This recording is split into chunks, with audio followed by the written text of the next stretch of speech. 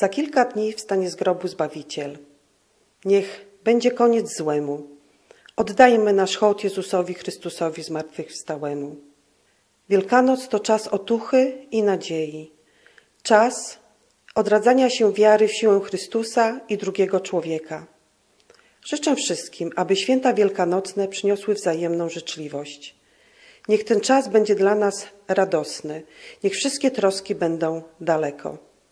Życzę miłych spotkań w gronie najbliższych, na stole smacznych dań i ładnej słonecznej pogody.